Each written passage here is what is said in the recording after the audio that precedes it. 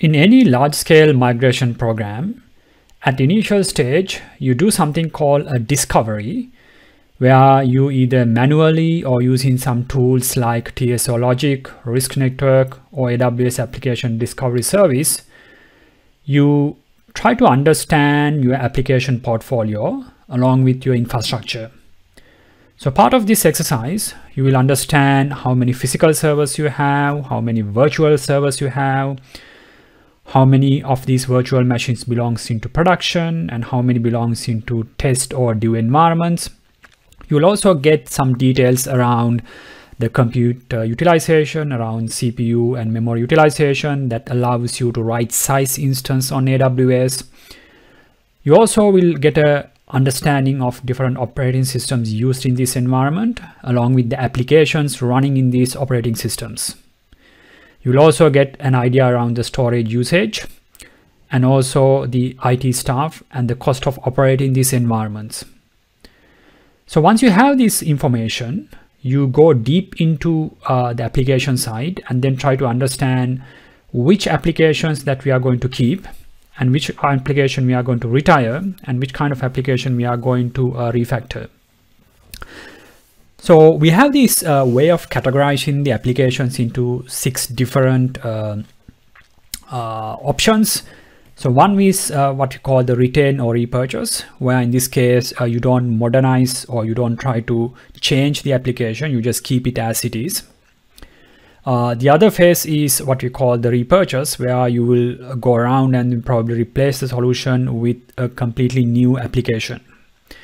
You also have this retire phase where you decide the application is no longer needed or it is being replaced by a new application and you may probably go there and then archive the application and shut it down completely. In either case, uh, end of life support is not a problem. Uh, this usually comes into picture when you uh, try to rehost or replatform your application. So when you rehost, you do like-to-like migration. It could be usually uh, some simple uh, lift and shift kind of a migration where you take the uh, operating systems and move it into the AWS. In the case of free replatform, you usually tend to upgrade the operating systems or database um, when you do the migration. So this is where usually the end of life support comes into picture. Um, and also then you have another approach called refactoring where you tend to uh, make some modification to the application. So that could be moving away from license uh, based software like SQL Server Oracle into more open source technologies like um, AWS Aurora. Uh, and then finally you have the re-architect phase where you completely uh, revamp the application and then try to make it more cloud native. So this is where you tend to go into more uh, cloud native approach like for example using serverless technologies. As you can see, the effort involved in in different phases uh, goes high depending on the type of application that you are going to uh, change. So in this phase, uh, when you try to replatform, uh, you need to first understand the type of application that you are going to replatform. In the case of uh, end of support, you need to know uh, who is using that application, what kind of information or the information it keeps, uh, you also need to understand how you are going to test that application once you migrate. Uh, you will need to know uh, different dependencies. So for example, there may be some other application relying on the data of this application. You also need to understand uh, different uh, business impact that can have if this application is not working. So you need to have a way to understand application. You can use a template like, so once you have an application portfolio, for the application that you select that you want to, uh, let's say, replatform or to move into a new operating system, you can uh, analyze that application with some kind of a document. So this information you need to gather well in advance before you start uh, replatforming the application. So this is a sample uh, document that we created, a bit of information.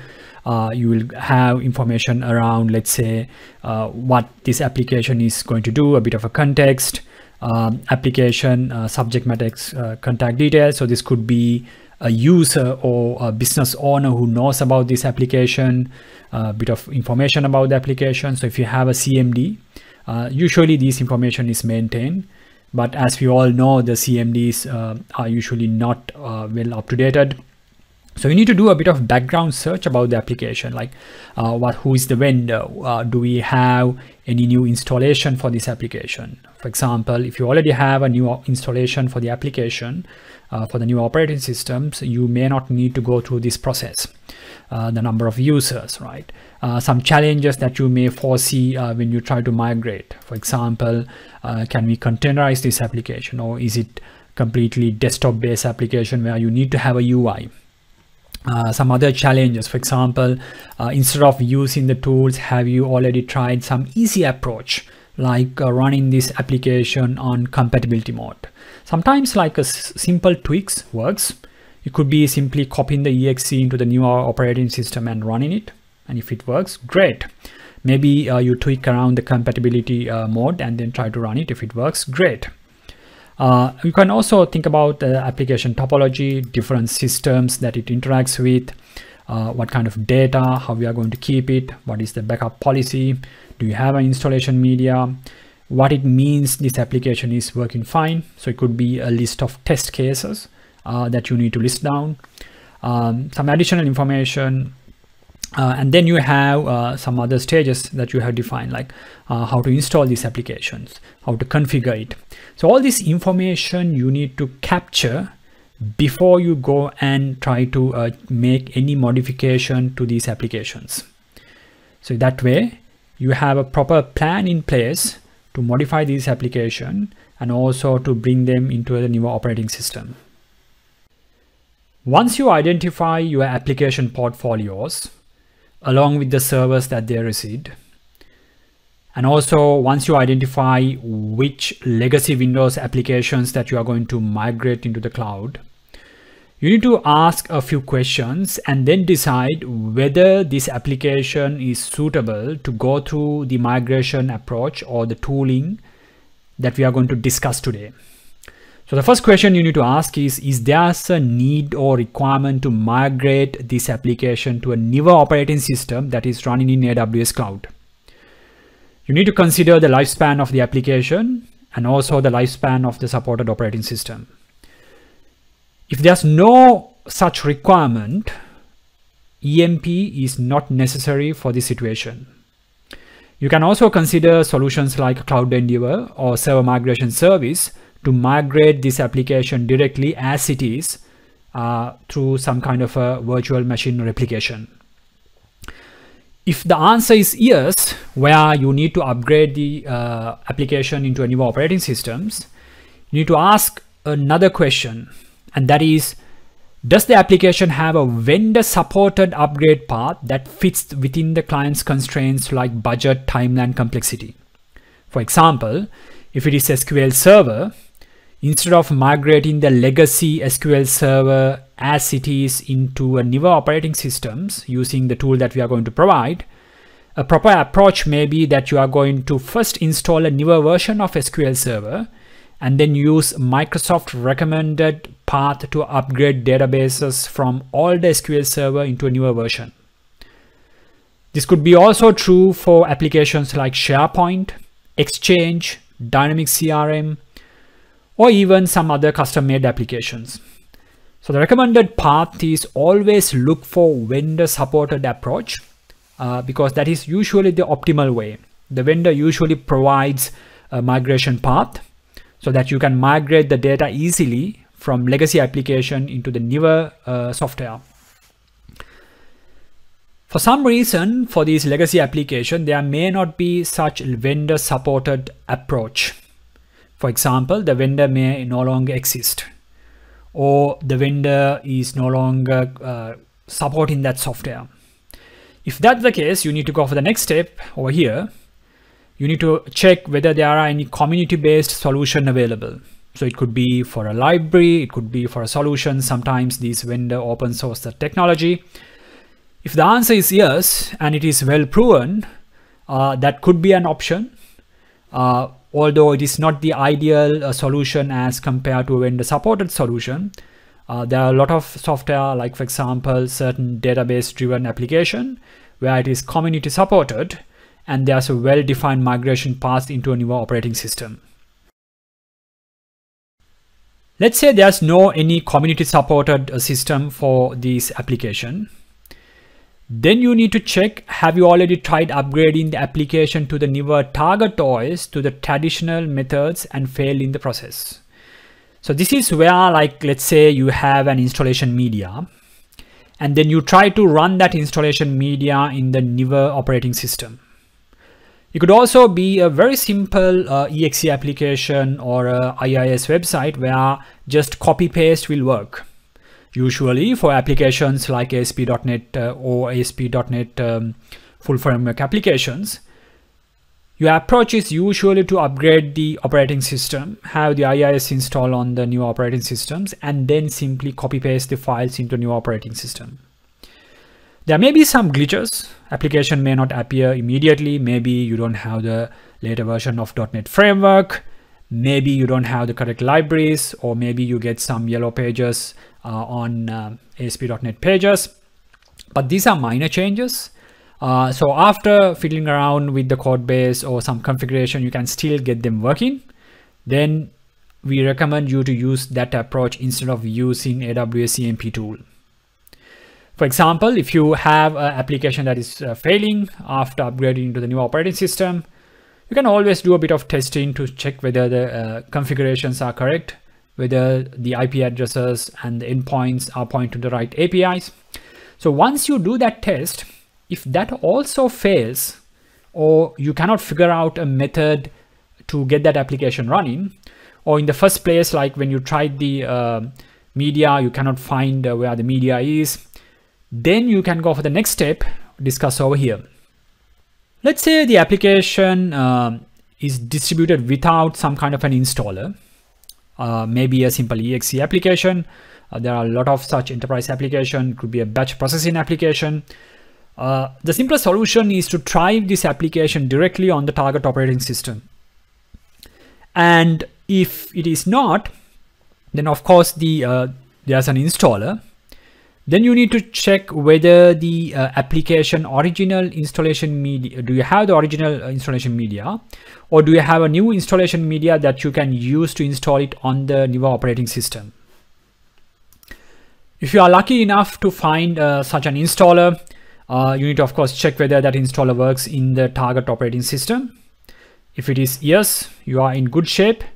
It is recommended that the application installer is used instead of using uh, EMP because this is always uh, the application vendor recommended approach to migration is always recommended. For some reason, if you don't uh, have that kind of an installer media, uh, then if the original installation files are not available, EMP is still an option.